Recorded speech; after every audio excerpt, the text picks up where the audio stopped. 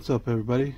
DJ Numismatic back again to uh, do another coin roll hunt variety search slash album fill.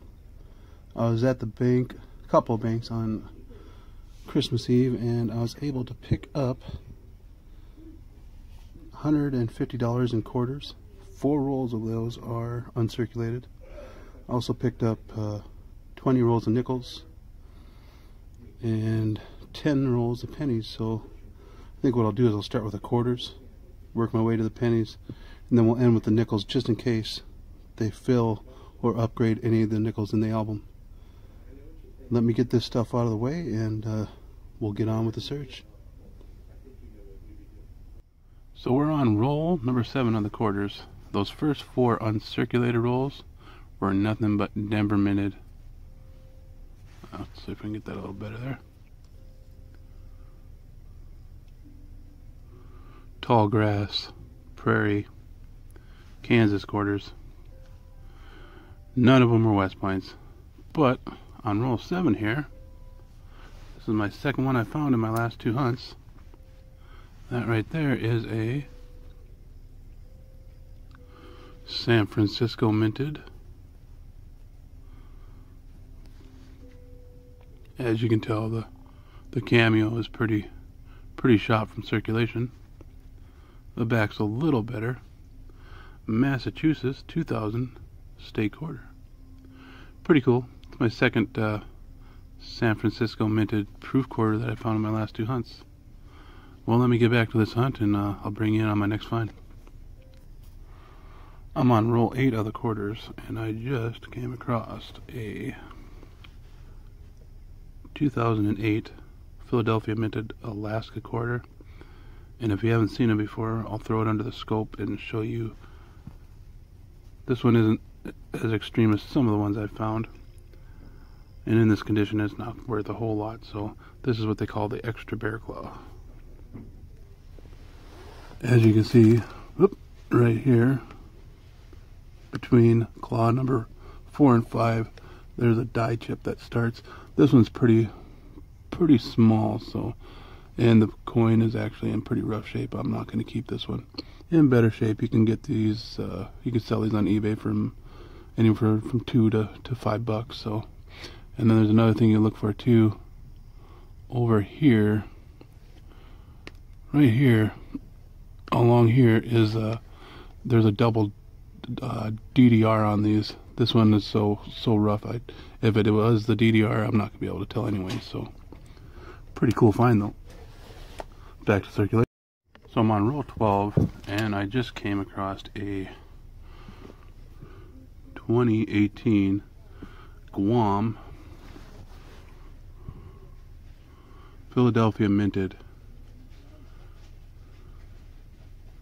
War in the Pacific and I'll throw it under the scope for you. One of the things you can look for on these, I found a couple like this so give me a second let me get out my uh, scope and uh, jump over onto my laptop. On the Philadelphia Minted Guams, you can see down here at the bottom of the leg, there's a die chip. I found these that are quite big, but they also sometimes become uh, a die break. And you can see right here, it goes all the way up. Oop, lost it goes up here. And curls back. You can barely see it here, but it turns into a pretty impressive die break. I probably won't keep this one. I've got quite a few like this, so well, let me get back to the hunt. I just came across another 2019 Guam. This is the first one I found. As you can see, with the smaller soldier in the background, if you look by his rifle there, and all over the place. There's a small die break on his face there. But if you check out the second one,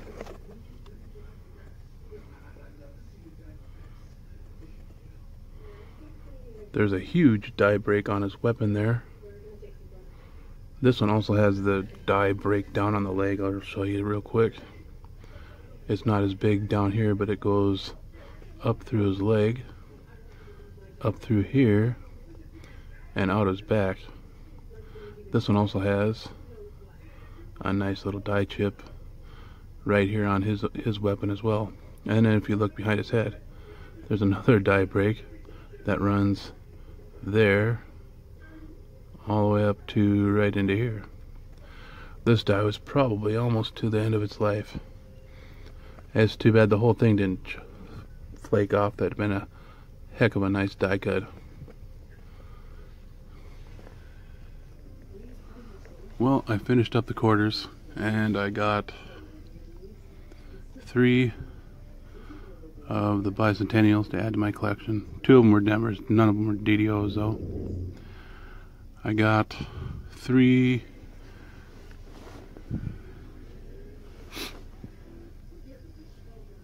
Northern Mariana Islands 2009s. Four, sorry.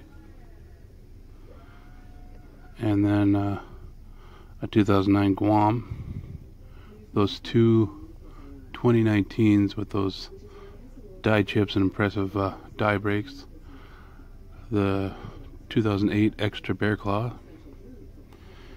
And the best thing out of the box, I would have to say, would be this, or box, or 15 rolls, was the 2000 uh, S proof.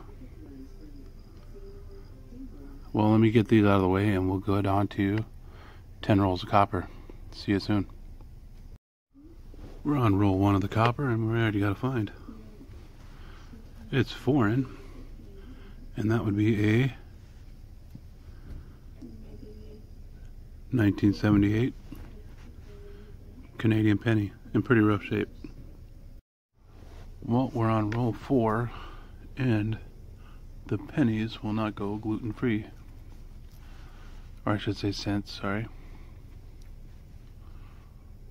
And that is a 1945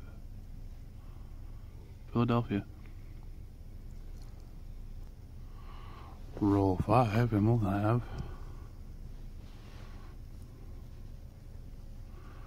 wheat cent number two, and that's a 1946 from Denver.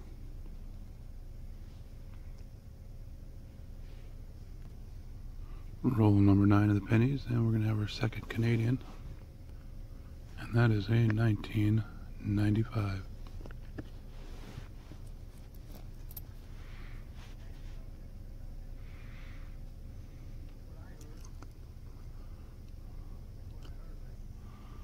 Well, we finished all 10 rolls, and I didn't figure we'd find anything major, but you never know.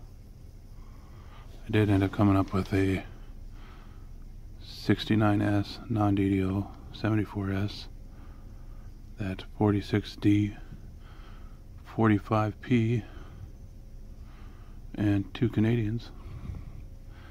Well I'm done with the pennies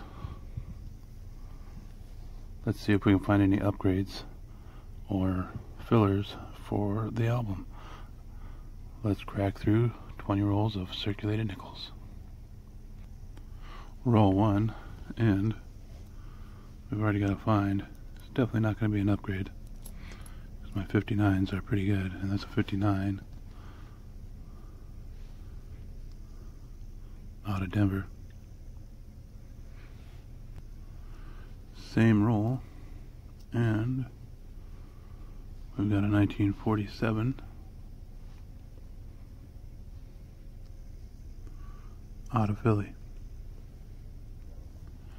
We're on roll number four, and we got another 40s, and that is a another 1947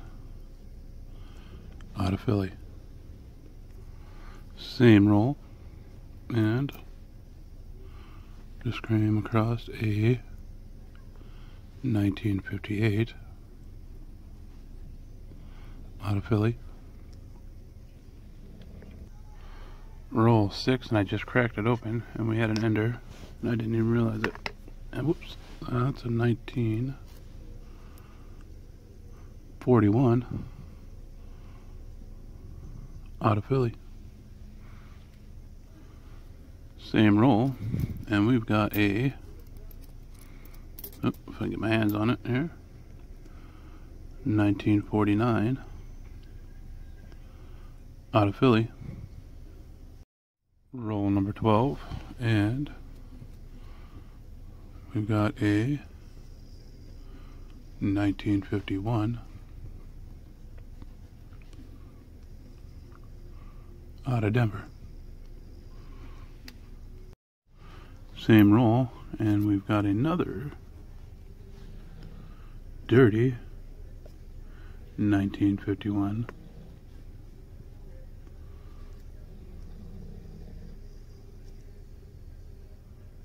Oh, I might have to clean that one up a little bit. There might be a mint mark there. I think it's a Philly though. Hang on. Yep, it's a Philly. And if you're wondering what I clean, I do clean some of my coins, just the gunk and stuff. And I use a product called MS70. It's a cleaner brightener. You can buy it on uh, eBay.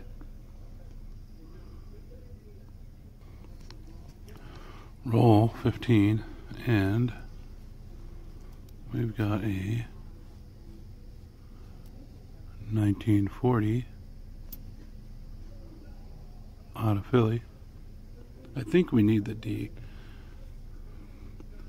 Let me get back to this roll. Well, I finished up those last few rolls and didn't find nothing. Um, so in 20 rolls, I did come up with five from the 40s, four from the 50s, and then these stacks I'm going to check against the album and see if we get any upgrades. I'll bring you back at the end to do a wrap up. So in the first album, we're going to be able to upgrade the 73P,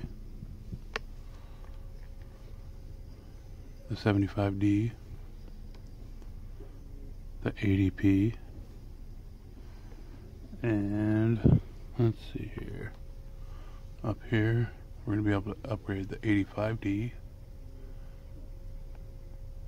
Oh, wait a minute. That'd be the 86P and D. Um, the 90P and the 90D. The 94P. And not by much, but the 95D. Let me pop these in the album and we'll check the next one.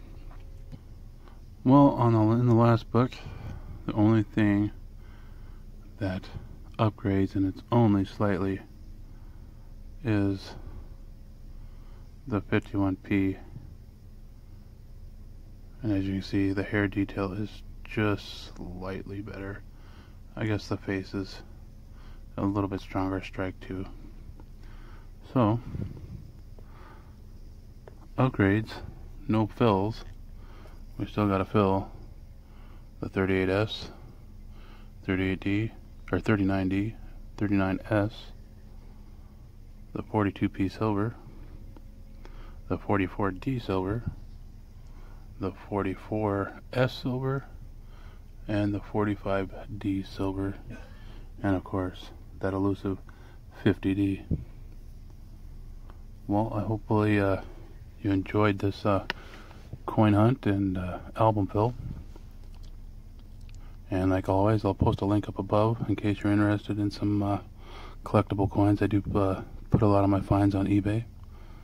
And until next time, stay safe out there. Hope you all had a Merry Christmas. And hopefully your new year is even better. Happy hunting, everybody.